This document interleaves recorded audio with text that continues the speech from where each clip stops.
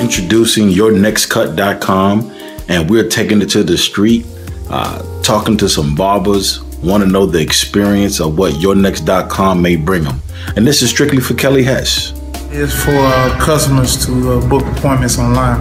It's um, very important because um, it gives you a sense of organization for you as a barber as well as you as a client. You know what I'm saying?